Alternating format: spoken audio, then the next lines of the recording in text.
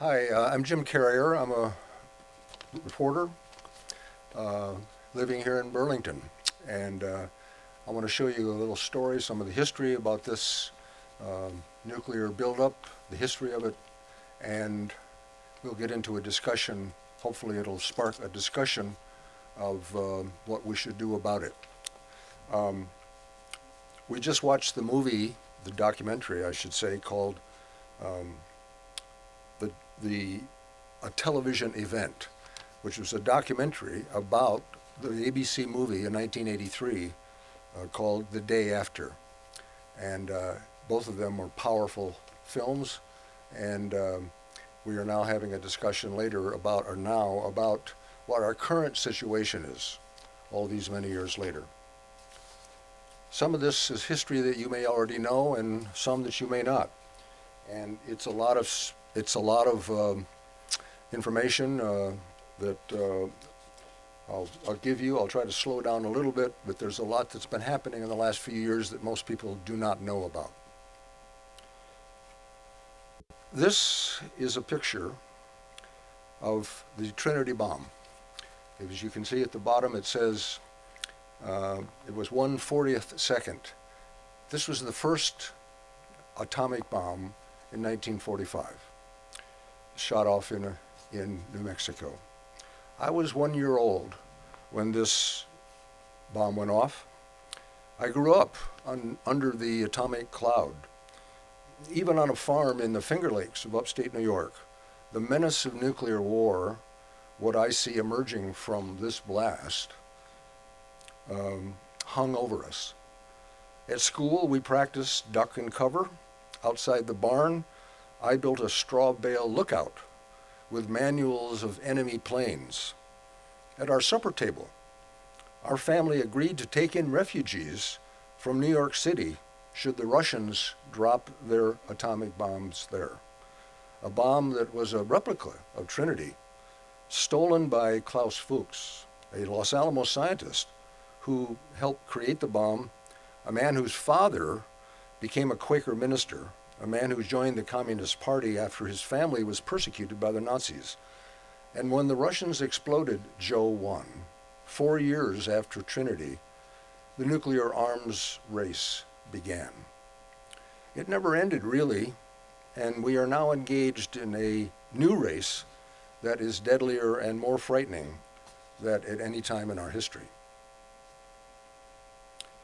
This is the Trinity bomb. In simple terms, it, no, I'm sorry, I'm going to change the slide here.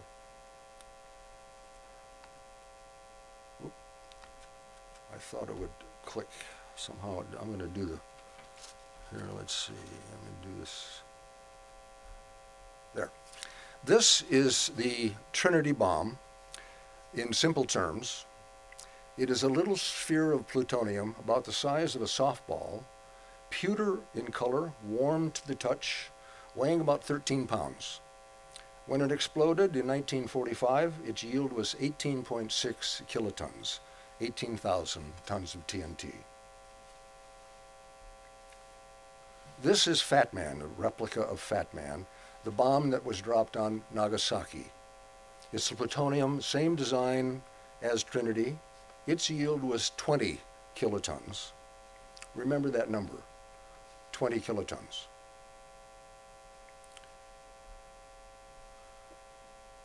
What began as the race is depicted in this graphic here about the number of warheads from 1945 to 2023.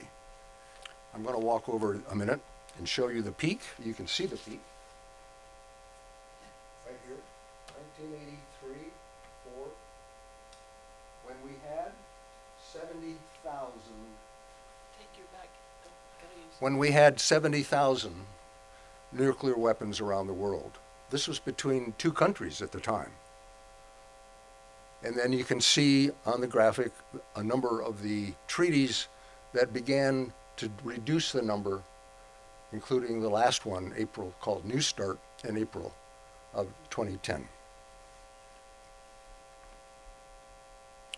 This is from the Federation of American Scientists. And um, so that's it. Some of you may remember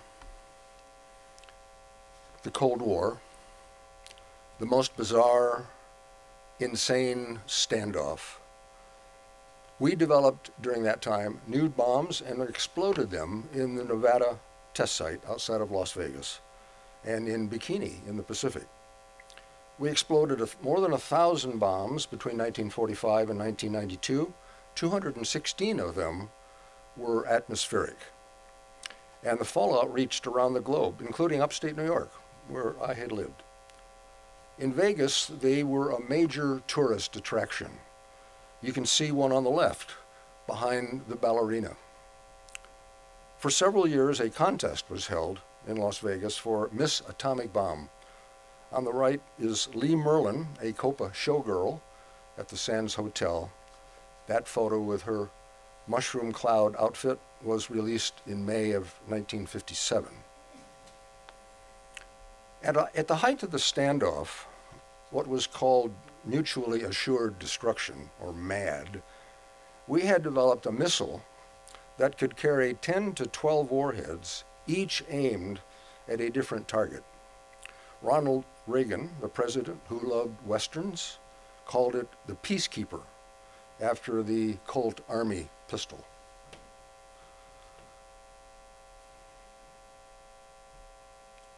Each of these warheads is six feet long or high, weighs 800 pounds, and has a yield of 300 kilotons. Nagasaki was 20. In 2010, President Obama and Russian President Dmitry Medvedev signed a strategic arms reduction treaty known as New START, which reduced the number of warheads to 1,550 for each uh, nation. That is deployed warheads in missiles, planes, and submarines, what we call the triad of defense. And despite Putin's recent rhetoric, both countries are still abiding by that treaty. But to get to the U.S. Senate to ratify that treaty, Obama and Vice President Biden cut a deal with a handful of Republican senators, led by Jon Kyl of Arizona, to modernize our nuclear system. It's called modernization, but it really is a whole new nuclear war machine. It includes eight projects new ICBMs, cruise missiles, updates to submarine launched missiles, a new stealth bomber, a new strategic submarines, updates to existing gravity bombs, modifications to the F-35 fighter jet that allow it to drop nuclear weapons, and updates to the existing Cold War nuclear command and control network. So far, Congress has spent about $100 billion. But the projections are that over 30 years, it will cost $1.7 trillion. There is still debate about some of these projects, but the military industrial complex is forging ahead with 400 new ICBMs, a dozen new submarines that are going to be built in Connecticut, 100 new bombers, new warheads, and significantly, 80 new plutonium pits. We haven't made a plutonium pit in this country since 1989 when the infamous Rocky Flats factory was shut down by the FBI. This is an old picture from Los Alamos of a plutonium pit. The pit, the word means uh, just like it sounds. It's like a peach pit. It's the heart of a nuclear bomb. The, poop, the in, in modern warheads, the plutonium pit is called the primary. You can see it at the top of the illustration there. It's ex it explodes much like the Trinity was, which surrounding explosives squeeze the sphere, which is about the size of a grapefruit, into a critical mass which fissions like the original atomic bomb, and whose X-rays cause a secondary stage, essentially tritium, which is a cousin of hydrogen, or H3, and that fusion reaction, like the sun, is the power behind modern weapons. This is a busy graphic showing how Los Alamos plans to recycle old plutonium pits We have more than 20,000 sitting in bunkers in Pantex, Texas. And if you follow the circle from the top clockwise, they will be melted, cast into new half spheres, machined, and welded into new pits. And they will be purer because plutonium deteriorates over time. Once they pass inspection, essentially lost my place. Once they pass inspection, they will be stamped with a diamond shaped mark and considered war ready. All of this dangerous work is done inside of glove boxes. You can see on the side there. Los Alamos says the first new one, war ready plutonium pit, will be produced by the end of the year, maybe by late summer. It will go into a new warhead, the W 87 1. This is a model of it. It will be carried in a new missile in a new submarine. So, why are we doing this? Because the world has changed since the end of the Cold War. There are now nine nuclear weapons, uh, uh, nine nuclear powers. China and North Korea are building new bombs and weapons. And just this week, as you probably read, the U.S. has revealed that the Russians are testing the idea of putting a nuclear weapon in space. If it were to explode, it would destroy a lot of satellites that we count on. These warheads are fueling U.S. modifications. Three are being built or modified, and the two on the right are still being designed. Here it is in numbers. This is our arsenal. We have 3750 warheads, meaning the plutonium pit inside a bomb. Our current arsenal also includes all those pits at Pantex. We have a W-88 bomb that is, as you can see, 475 kilotons and will hold up to 12 in one missile. We have two that are variable. They call them dial a yield. You, they can actually change it from like the B61, dial a yield, they go from 0.3 to 340 kilotons, and the W80-4 can go from 0.2 to 150 kilotons. These are weapons that are already in our arsenal. Then what's planned is the W87-1, which will be 475 kilotons, and the W93, which is being designed for the new Columbia submarine. All of this work is being done at what is called the Enterprise, a complex of labs and factories run by the National Nuclear Security Administration. In all of these slides, you can see the logo down in the lower left there. That's a, a division of the Energy Department, uh, a semi-autonomous division. And on top of that, the people in that department are actually federal employees. There are about 2,600 of them who contract with private companies who employ 65,000 workers. And I wrote a piece about all of this uh, for the Progressive magazine last year.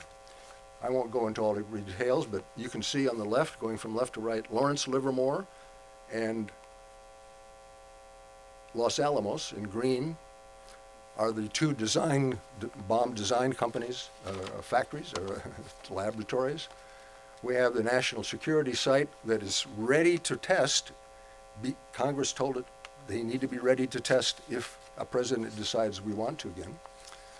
Sandia, Kansas City, Pantex, they're all parts of putting these things together, making parts for the bombs and then putting them together.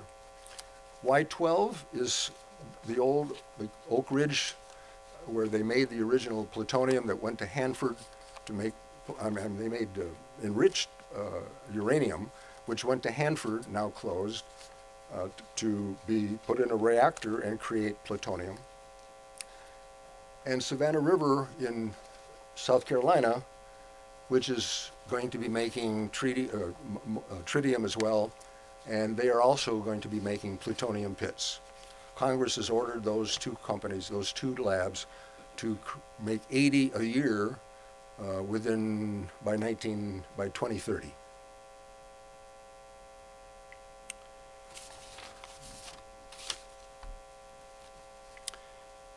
I just finished a piece for The Progressive to be published next month about the great silence in this country about this nuclear, the new nuclear arms race. It tries to answer the question, where is the protest of the kind that Vermont led in 1982 when a million people converted, con- converged on New York's Central Park? There are many factors. We can talk about this. Lack of news coverage, the aging of the peace movement, competition from lots of other issues, abortion, immigration, racism. This particular piece that I'm writing, or just finished, was really sparked by Robin Lloyd, who in March saw a piece in the New York Times about it and called a meeting of, the, I'll, I'll say, the peace movement elders uh, to rebuild the movement. And this gathering is a, st- another step.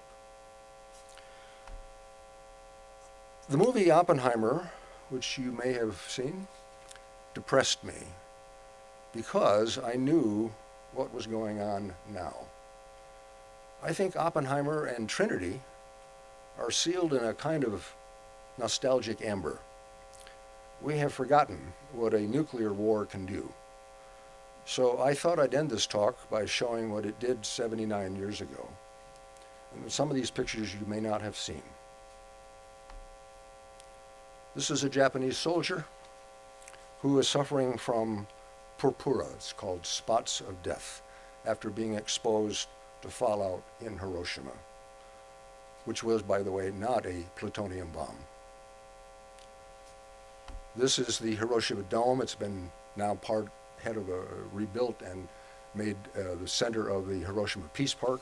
If you ever get a chance to go there, I urge you to do that. And then finally, I will show you four pictures from Nagasaki, which is a bomb that we don't think much about, but it was as destructive as Hiroshima.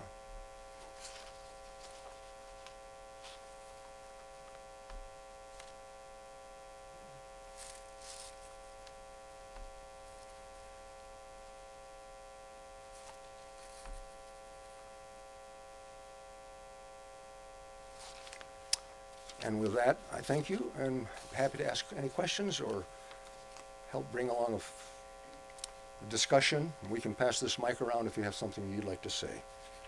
Would you uh, like to talk about what you're planning to do?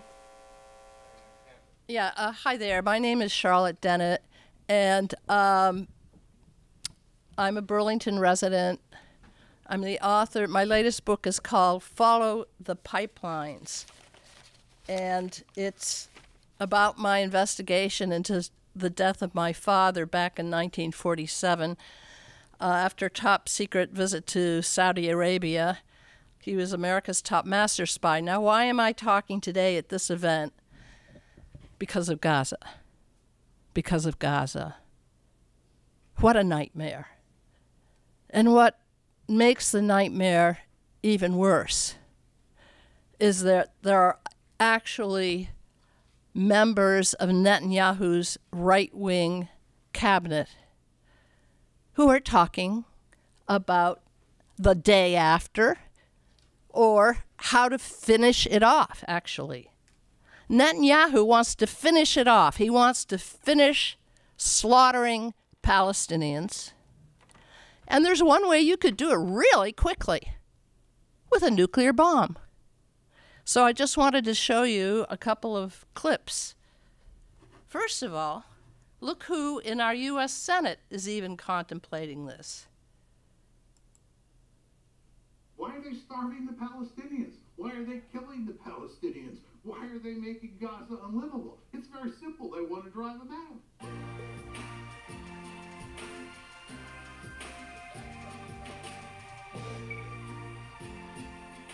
Ladies and gentlemen, welcome to the Intercontinental. My name is Tom Switzer. I'm the executive director of the Centre for Independent Studies. Uh, now, for those of you who don't know much about CIS, we're a public policy research organisation. We're just based up Sorry. on Macquarie Street, and um, we are primarily. This is this is the one I want. I'm sorry. So it's not that one. That's the that's the forward button. All right, is this the one? Which That's- one? Here, that's pause, Yeah, and then if you this one. nope nope not Just that leave one. it. Yeah, it's coming. I'm sorry. Cut. Hey, listen, we're not as good as the day after movie. Okay, I should state that we can definitely not video that. You, you cannot video that. That's a YouTube. That's totally. oh, it's YouTube. You can't do it. Show it. Right. They, they But can't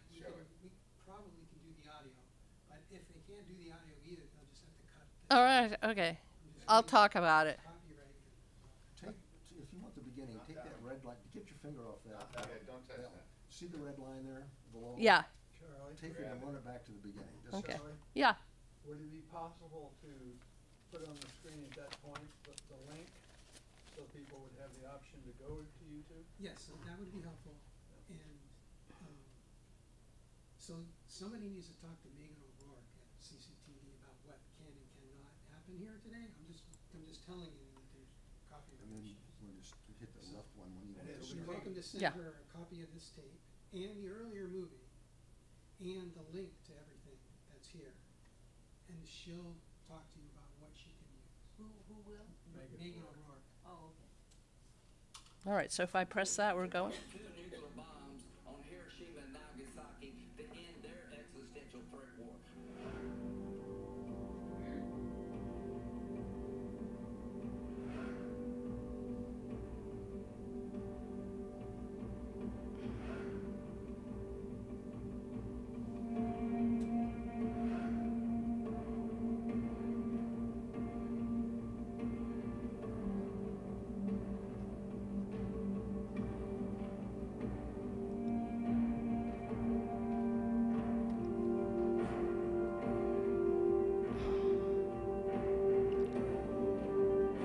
is his voice, though?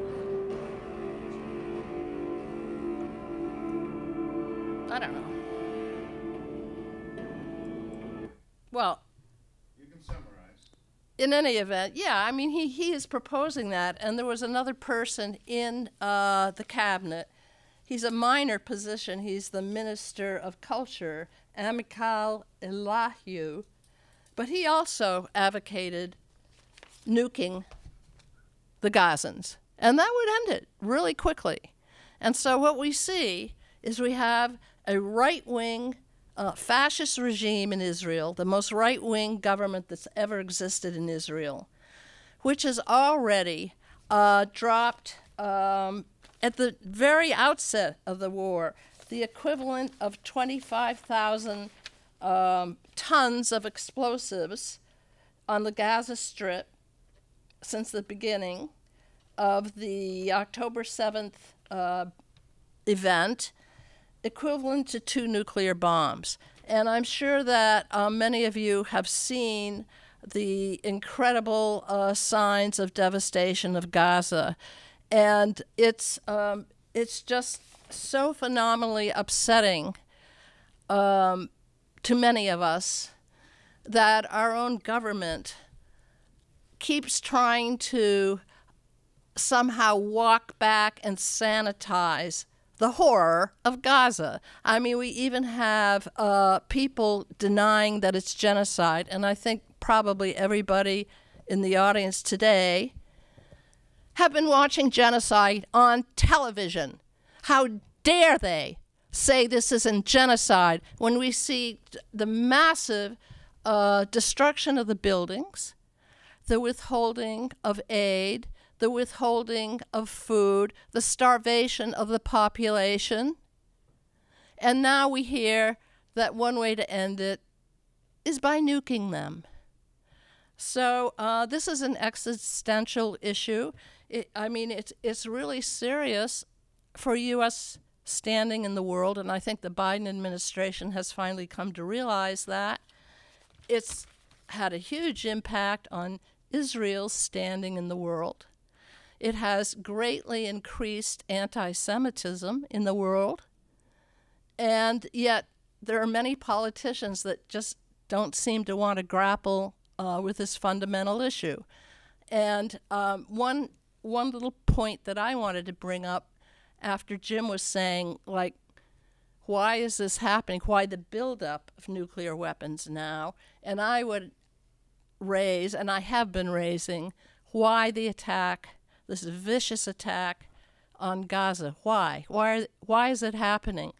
And uh, what I put forward in my book is that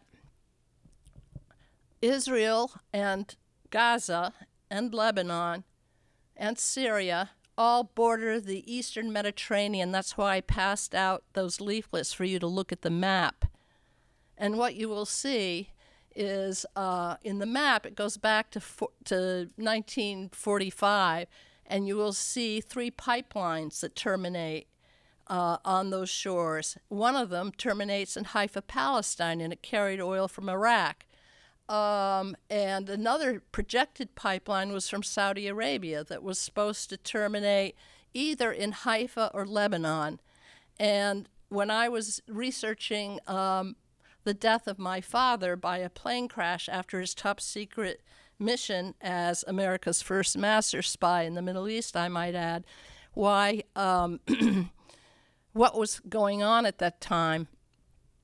I, I came across an article in the New York Times, and I'm sorry, I thought I could project it up here, but I can't. So I'm going to have to read from it, and then I'll bring it back to the present about all the militarization that's going on.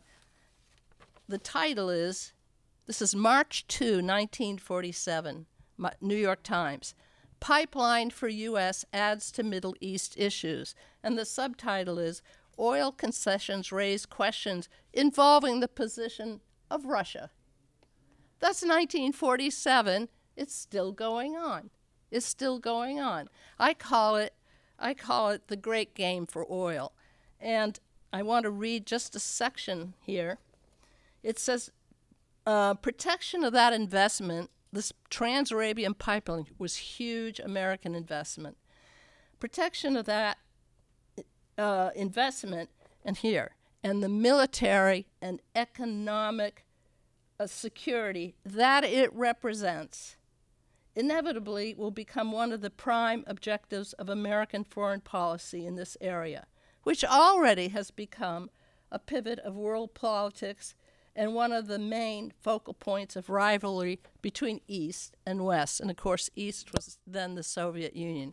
So, what, what I'm trying to say here is it's still going on, and that the um, that whole area, the Eastern Mediterranean, has now got 500 billion dollars worth of oil and natural gas right off their coast.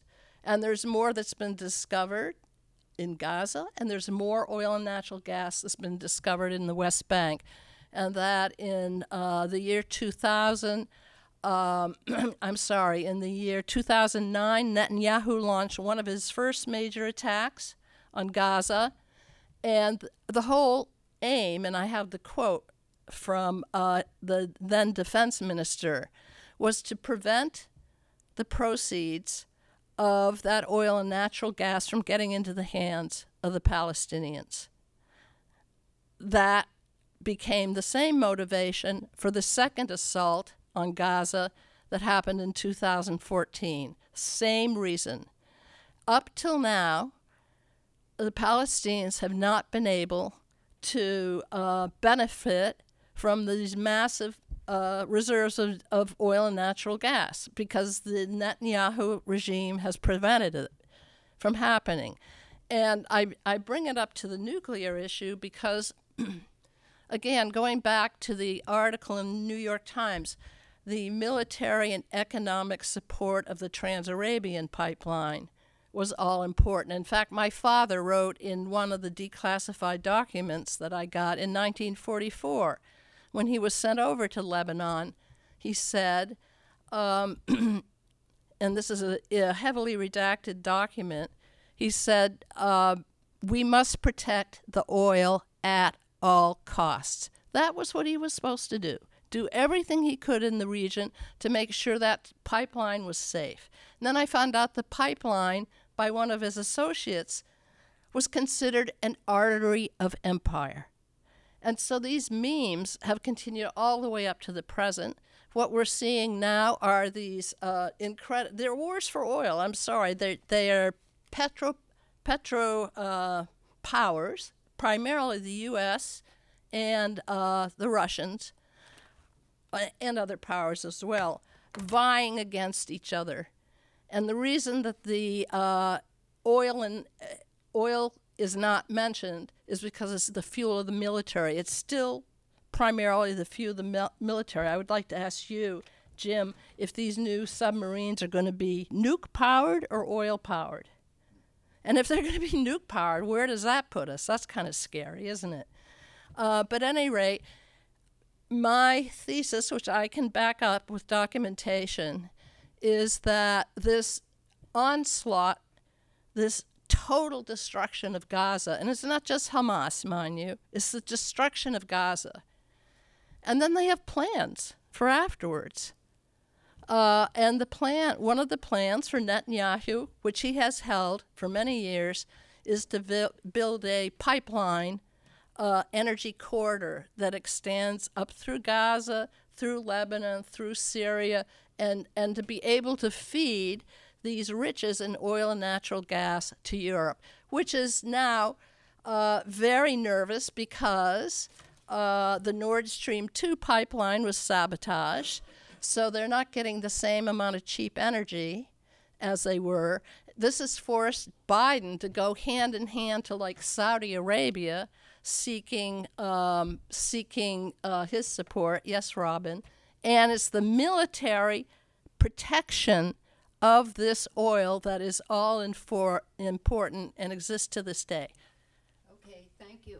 Did I go Thank too you. long? No, no, fine. But I think uh, people might have questions, and I have one question, which is if um, all this oil is there that is so important, there's no way that Israel would nuke Gaza because they would destroy uh, the the potential of developing the oil.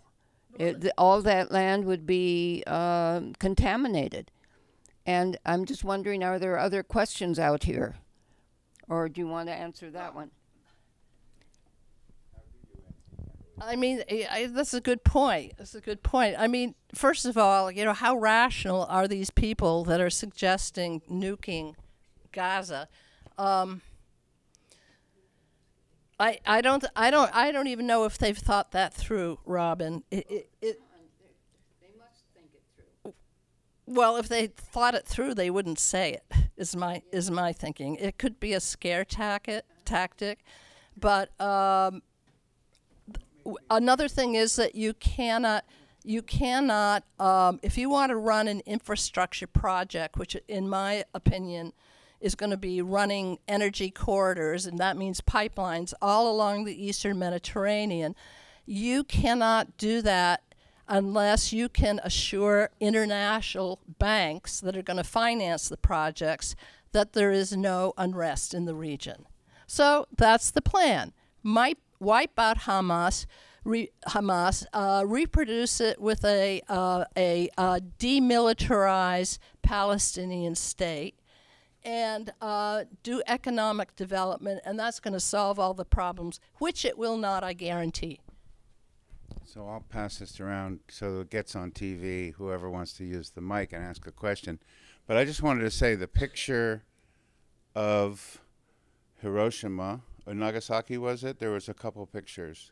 Well, that looks like Gaza. And so Gaza's already been nuked. Okay?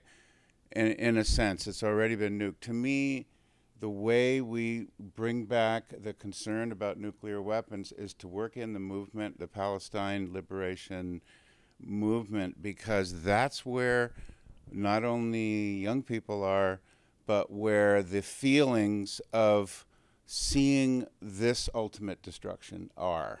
They've been in it, they've been feeling it, they know it, they've been studying the weapons. So I think we're helping giving them more information about the ultimate weapons. And and it's incredible these these little uh, softball shaped you know this technology this, this they see this technology these kids. They're in it. They you know to them it's and it's all these chips that are being made for these smart bombs. So i just think that that's where we should go with this is to bring it you know uh, recognize that gaza has has been nuked and that we're being taught that um, this can happen that it's okay that this destruction's okay. But I don't think us, as a bunch of older people who are so well versed in this, are going to inspire those people. I think we have to give them the information. But I, I, I mean, I'm, I'm confused of where to go from here. But I, anyway, on uh, if you signed our, our, um, our thing, there's a meeting on Zoom in a month on the 19th. And if you have your email on here, we'll send you the link and you can come and we'll talk more. Because it's so complex, isn't it? The, the extreme nature of these things. So um, I'd like to pass the mic to anyone who wants to talk. Oh, Yeah. Um, my name is Judy Yarnell. I just wanted to add that the the line between conventional military weapons and nuclear weapons is now being blurred uh, with these B 61 bombs, tactical nuclear weapons, they're called, that can be used on the battlefield and they can be dialed up or down. I think it's quite likely that these bombs will be used in, in Ukraine or Russia or Gaza. And guess what? The F 35s are, were built to carry these bombs. So that's dangerous for the anti nuclear movement, for people who are against nukes and want world peace. It's creeping in the weapons itself. Um, I wish that we could open up the conversation again the way it was open in 1982 and at the time uh, the day after was made and anybody's suggestions on how to how to do that would be very welcome yeah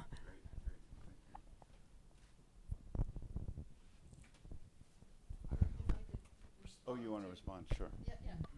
I'll let you hold that. Okay. So so we do have to we do have to be careful because Gaza hasn't been nuked by a nuclear bomb yet. But no, you feel it. It's fine. But you got right. No, the rubble. I mean, it. It is. I mean, people have made co- comparison to the total massive de- destruction, and it was the United States that that sold uh, the 2,000 pound bombs to Israel, and that's what's that's what has been dropped, and that was about to go, I believe, in the latest shipment, and then people had such an outcry that I believe that they have held up those offensive weapons, and this is well, this has become a a, a real problem for for President Biden, and uh, I I think he hopes that over time uh, they'll be able to moderate uh, Netanyahu's war enough so uh, people will believe that um, you know we're not going to have a real problem over there. But yeah. Oh. Yeah. Yeah. Can I, can I, Go ahead. Yeah. Let's get as many people to say something as they would like. Henry, where it was you, Wafik? Henry? Either way, what's what do you guys think?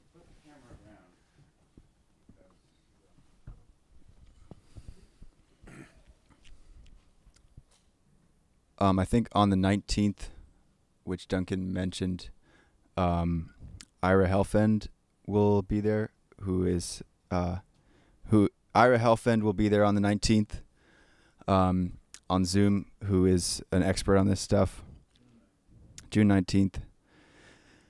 Um, so reach out to Vermont Peace Anti-War Coalition uh, for info on that. Um, a couple things. I, Biden has not stopped the offensive weapons. He just sent another million dollar shipment. Billion, yeah. Um, also, uh, I feel like it's important to clarify that the U.S. Um, in some ways may be responding to threats from abroad, but the majority of the what we're seeing is driven by U.S. policy and U.S. actions, um, and Russia may well be preparing to put nuclear weapons in space. I don't know, but uh, that report, from what I know, comes from the U.S. intelligence agencies. So that is a uh,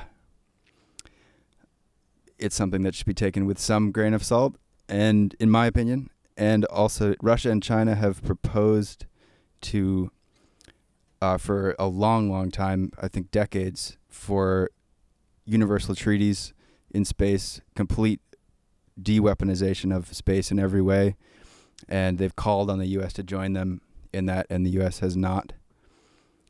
Um, and the U.S. is also the only country in the world that has a policy since the 70s of it's possible to win a nuclear war, as the film talked about. Um, and that policy is called counterforce, which means that the intention is to destroy the other side's nuclear weapons um, for the purpose of having a nuclear war without getting hit too hard yourself, which implies that a nuclear war is winnable and therefore doable. And no other country in the world has that policy.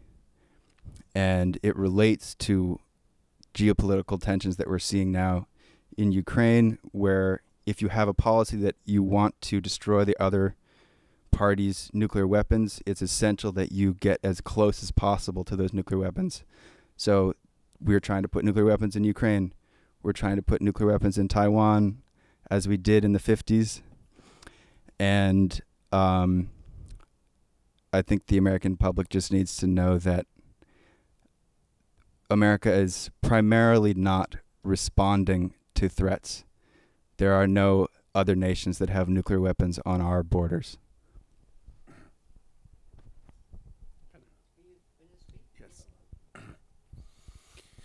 I mean, the question what Jim put forward is why the peace movement, the American peace movement, doesn't exist anymore of what happened on the 60s, 70s, and early 80s, that we don't see it on the street.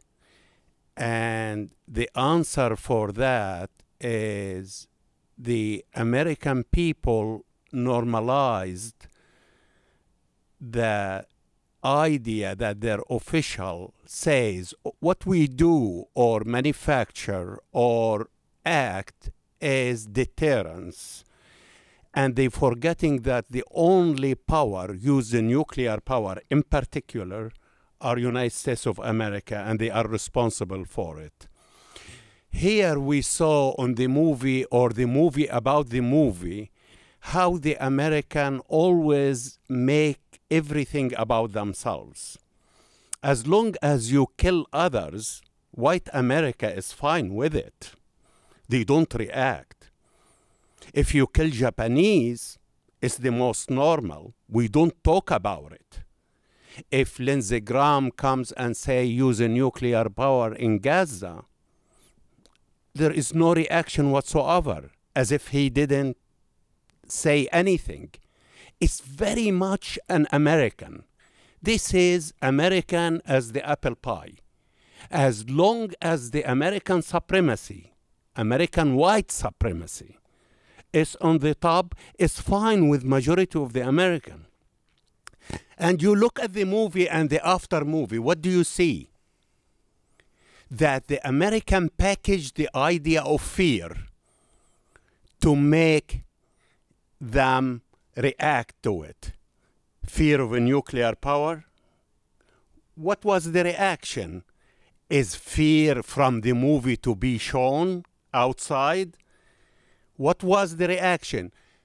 Attendance of four people who are pro war, from Kissinger to Scholz to uh, even the Holocaust survival, which is he is doesn't recognize the Palestinian existence, by the way, you know, to everybody to McNamara, they all warmongers, and they became spokespeople of the American and selling the idea let's package the fear so we will have power so we will use the power first you know not looking at the others because the others have been otherized you know?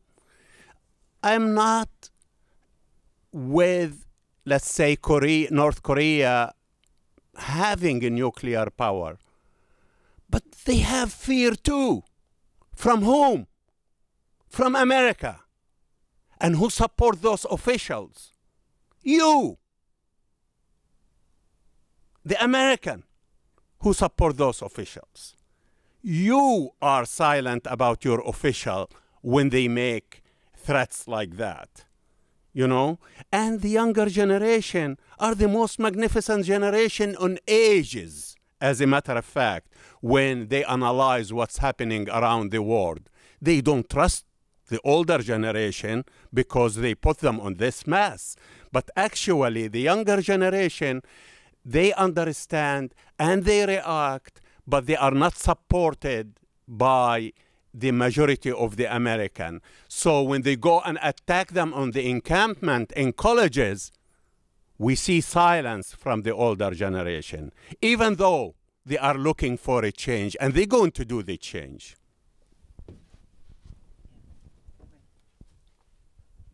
I know uh,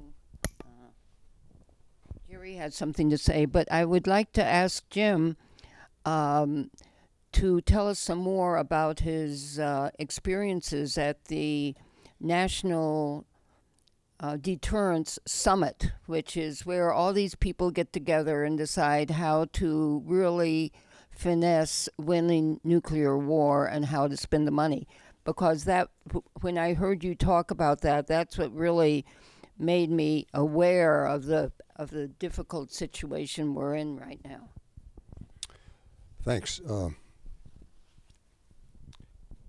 I uh, what I didn't mention in this, uh, other than growing up in the cloud, is that uh, uh, atomic cloud really uh, was that um, in the 1990s I was working for the Denver Post and doing these big projects. And I realized that the 50th anniversary of Hiroshima was coming up. So, and the bomb really was a Western uh, phenomenon. It was the uranium from mines, uh, the lab in Los Alamos, the test in Trinity down in Alamogordo, uh, except for Oak Ridge, which did refine the uranium uh, Hanford, of course, where the plutonium was made. Anyway, uh, I did a year and a half study of of the uh, what I called the atomic legacy in the West, which included a lot of waste and all kinds of people dying and all of that, downwinders. I turned many of my projects into books. A couple of years ago, when I started to look in to do that with that series, um, I discovered quickly that we're now back in the bomb making business, which surprised me. It, I didn't know about it. I hadn't read about it. I'm a consumer of news, and I didn't know about this. And I discovered that every year, now, now for 17 years, the nuclear industrial complex holds an annual conference of the federal government employees and the contractors um, in Washington, D.C. It's called the nu- Nuclear Deterrence Summit. So I went two years ago. I wrote a piece about that in the Progressive magazine. The atmosphere is akin to, well, first of all, this is the crowd that wants to build weapons and grow the um, grow the enterprise. Uh, I re- distinctly remember uh, one morning when Jean, uh, Jean Hruby, who is the head of the NNSA, uh, in charge of all of this, uh, gave a talk about where we were in terms of rebuilding this enterprise. And the man who interviewed her, who was from Honeywell, when she got done, she, he said to the audience of several hundred people, Come on, you folks, don't you realize that we just did this and this and this and this in a year? That calls for a round of applause. And so they applauded. It was like a pep rally, really. And I went this last year, this earlier this year, to the same conference. And we're, we're, we're down the road. The, the people who watch the watch the nuclear watchdogs, uh, each of these sites, which are very small groups, often individuals, basically say that there is no control whatsoever. Congress has basically opened their product, uh, their their their pocketbook, to the point that, that you made about uh, the fact that U.S. Uh, is the uh, igniter, if you will, or ignition of the of the uh, nuclear arms race. I think the case can really be well made. I mean, if you go back to the war, I mean, the Soviet Union wanted to match our bomb, but then we began building, building, and building and building, and we used, as the Kremlin has, when they when they exploded a bomb, you know, Katie barred the door. We we then stayed, and we are on top still by far. The nuclear weapons, and we overbuilt it. I mean, we people died making bombs uh, at Rocky Flats outside of Denver. So um, because they were exposed in the production. Anyway, where I wanted to go with this is that's answered your question a little bit, but but in the second piece that I've written, which will be out in June, and I, will I'll share a little bit about it, because when I heard that Robin was trying to rebuild this peace thing, I thought, geez, I haven't heard anything about this. Why is that? And so I did a, an article here about this, and I because to get the discussion going here about what we should do about it, what you all should do about it, how do we get young people involved? When I showed when I showed my slideshow to my wife, who teaches at UVM, she said these numbers are kind of bull- they, they don't mean anything. What does 1.7 trillion dollars mean? What does it mean in terms of medical care, care or free college uh, things? Put it in terms that people, uh, or young kids particularly, will understand. Um, and she said, the next time I show this, you ought to do that. I didn't have time to do that. But let me give you some bullet points about why why I've discovered after a bunch of interviews why there's such silence. First of all, the Cold War is over, or it did. It, you know, it, it, it ended in 1991 with the collapse of the Soviet Union, and even though other things came up with Iraq, Afghanistan, women's rights, Black Lives Matter, economic inequality, women's rights, all these things began to compete for the public interest. And people assumed, I'm quoting from John Tierney, a former congressman who now is head of Center for Arms Control and Non-Proliferation, he said people assumed that this nuclear thing was no longer a problem. It was under control or moving in the right direction. The 1996 Comprehensive Test Ban Treaty ended the test test at uh, actually everywhere in the world. Nobody, I guess North Korea has tested, but we have stopped testing. Russia stopped testing, and so it's not in the news anymore that we are, you know, having fallout.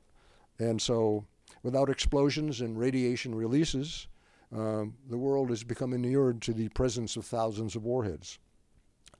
The U.S. news media, of which I'm a proud member, has essentially stopped covering the nuclear issue since President Obama's, uh, you know, won the Nobel Peace Prize, um, which he got before the signing of this treaty.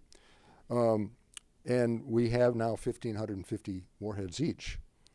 And by that warheads, I mean those are warheads on top of in weapons, right? Forget the ones that are in reserve. Major foundations have stopped funding this peace issue. The MacArthur Foundation, uh, which had given $100 million, announced in last year that it would exit the nuclear field. Uh, it has a lot to do with the, difference between deterrence and disarmament, which I won't get into. But also, you know, most of the grants for peace movements have been really small, and they've gone to they've gone to legitimate foundations, which are tied in really with the power structure. People from Congress come and go into these big MacArthur Foundation types, not the little man on the street. They don't get the the the, the, the, protesters uh, in Vermont, for example, didn't get grant money that I know of, uh, and they certainly don't today. Um, lastly, or uh, the, the other thing is that the Defense Department overwhelms peace groups with its lobbying power. Uh, in 2023, contractors, defense contractors, spent $70 million lobbying Congress to promote the, 19, the 2024 National Defense Authorization Act, which budgeted $850 billion and $24 billion to the National Security, uh, Nuclear Security Administration. Well, that's Open Secrets is the website that will tell you who's spending what. General Dynamics, for example, the company that produces submarines, um, you know, is uh, they spent $64 million. Uh, they've also, someone alluded earlier, to putting pieces of this enterprise almost in every in every state. Every state has pieces of this of this uh, enterprise, and congressmen then Lindsey Graham is, you know, uh, chief among them, uh, supporting jobs uh, and growth of that enterprise. Young people, this comes from the Middlebury uh, think tank uh, in, in California. Young people have a lot of issues competing for their attention. And one of them said to me, if I was 20 years old today I didn't, I, and getting my fit, feet wet, I don't know if that I would choose to work on nuclear weapons. And the other thing is that going back to our movie here, nuclear Armageddon is not like is not as visible as in popular popular culture as it was in the days of Dr. Strangelove on the beach the day after. So we haven't had Oppenheimer, as I already mentioned, I think is a great movie, but it really doesn't make you want to, you know, come out of the theater and stop nuclear war. So um, the good news is that there is beginning to be a few young people involved and organizations that are trying to build this back up. Robin will do the work here in town. Uh, there's a company called Back, uh, a nonprofit called Back from the Brink, which has now 18 hubs of activities, uh, and their five-point policy basically is to take, you know, the weapons off. I won't go into it. Hair trigger alert, all of that.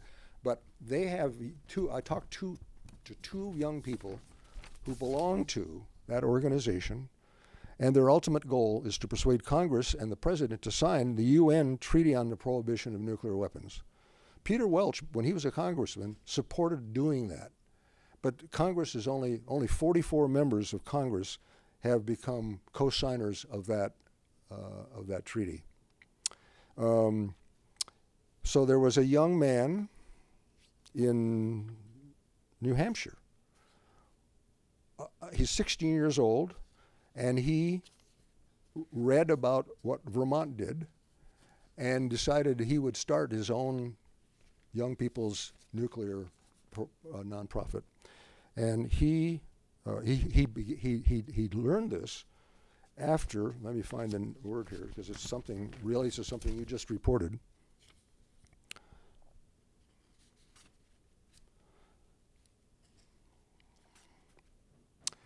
His name is Rishi Gurudevan, 16 year old junior. And he said,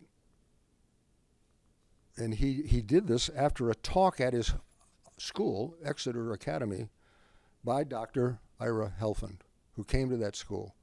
And that's when he decided to start Students for Nuclear Disarmament. Um, back from the brink, I was also hired a woman, a young woman in uh, in California, and she's now become a full-time activist. She's 23 years old, and I talk about her in my piece. And she talks about this issue of money being spent on nuclear bombs when there are so many other needs. So there are beginning movements, but it's going to take a long time, I think, to build it back up again to where we have, where we can convince Congress or people to march in the streets or however we do it. But anyway, that's who else would like to have a comment? Yeah. People need to leave, that looks like so.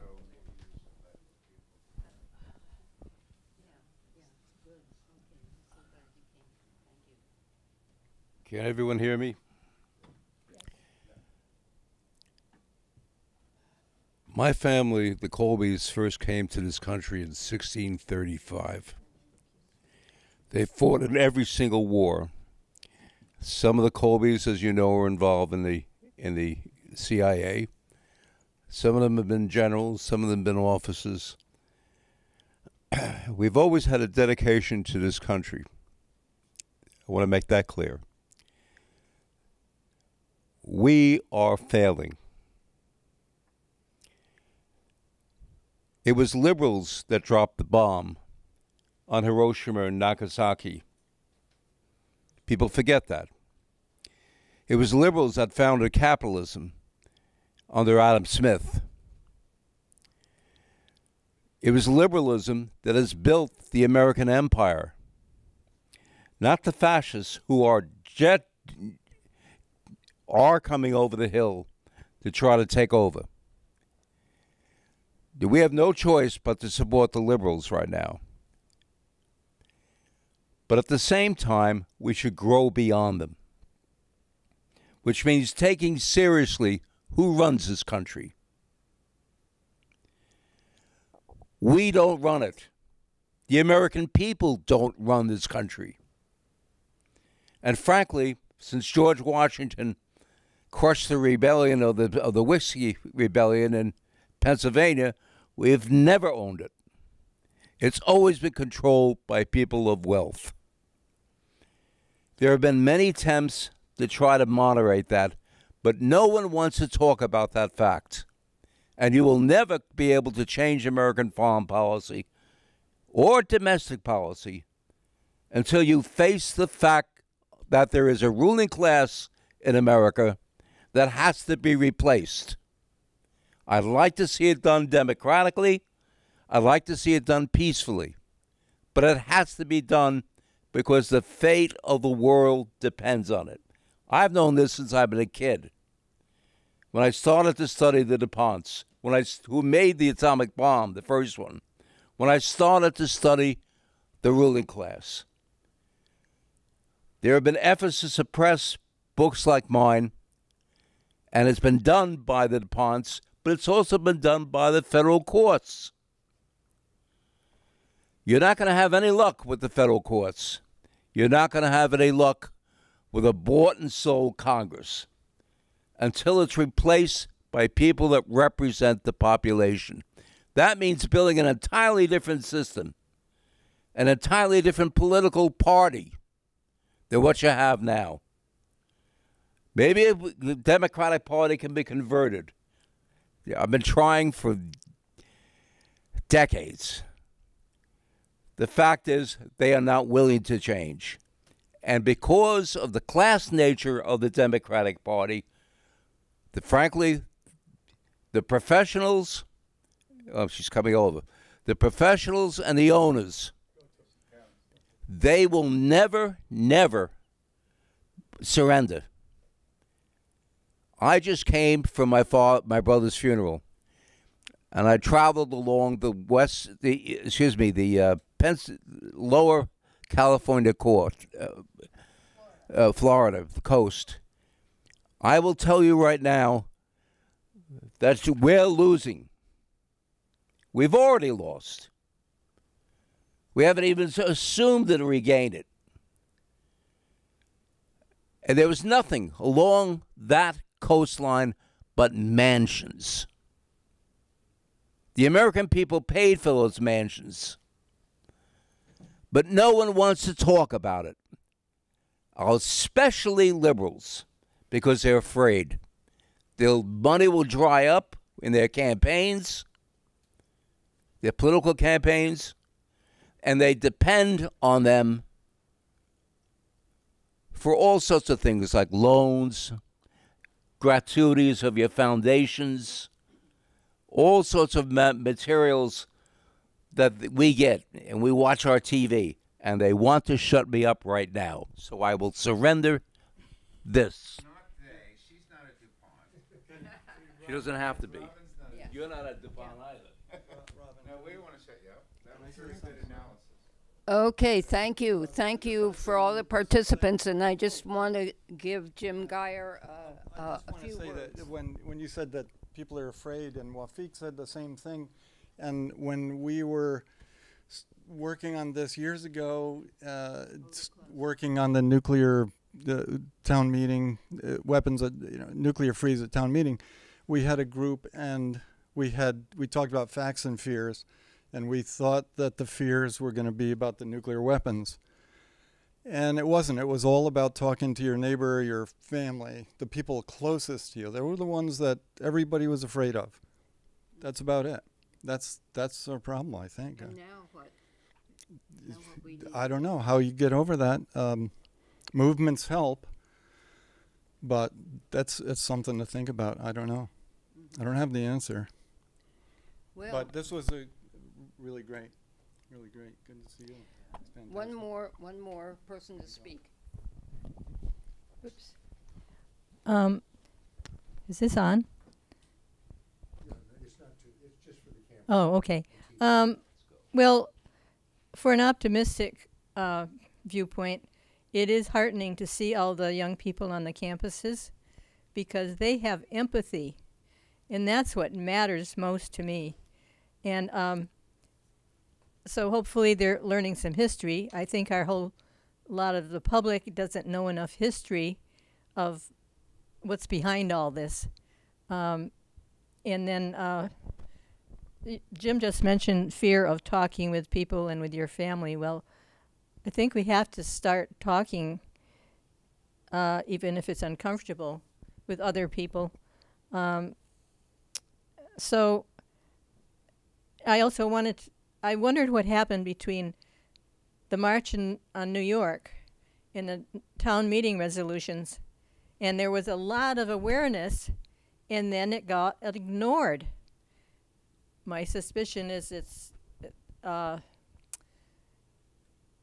there was an effort to keep the the business of weapons going, which has happened. But um, I was reading an article recently too about think tanks have also um, promoted this. Think tanks that act like they're neutral when they're not. Uh, but anyway, I think maybe we have to educate each other. Uh, well, well, there's still some of us, so that the young people will uh, be encouraged. They're encouraging us. Yes. Okay. Well, let's let's keep talking. Let's keep reaching out, and uh, I'd just like to have uh, Duncan Duncan Nichols uh, say the event is going to be coming up in June, and uh, when is that? And who is um, Dr. Helford? Dr. Helfand. Well, Nancy. Okay, so a month from today, on the 19th, there'll be a Zoom meeting, and so no one has to drive. And we're going to be following up on this today's event and talk and conversation and ideas. Um, and Ira Helfand will speak, and he is with Back from the Brink in New, in Massachusetts, a long time uh, advocate. And I guess that's that's it. We'll, those who have signed up on our, our clipboard, we'll send you an email with that link. And uh, thank you. Uh, you speakers were wonderful. I just want a closing thought uh, about all the wonderful um, demonstrations that have gone, been going on in all the campuses, which is really encouraging. And in all my uh, seven decades of uh, sort of living with this uh, Middle East conflict, this is just unheard of. I mean, it's incredible. And there's been efforts to, to make it look like it's violent. Now we found out it's from outside agitators that most of the demonstrations have been pe- peaceful. So, so this is a note of hope for us. And and what I'm hoping is that we can broaden the movement. For instance, all those that are demonstrating uh, against what's going on in Gaza connect with the climate activists. And, and if they understand that one of the primary motivators of all these conflicts have been the oil companies that are making profits and the, and the uh, military, which is making huge profits, uh, that, that once that is better understood, you will have a broader movement. So I'm hopeful. Maybe we can end on a note of hope.